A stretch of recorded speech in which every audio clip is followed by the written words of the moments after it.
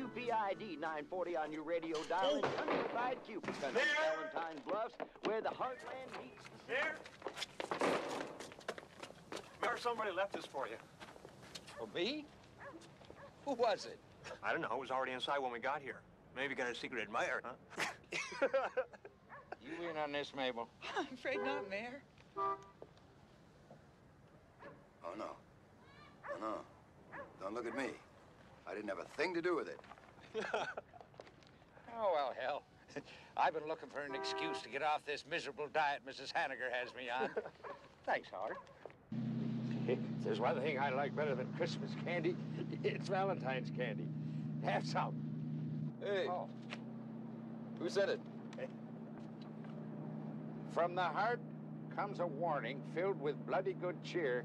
Remember what happened as the 14th draws near. it can't be happening again. It can't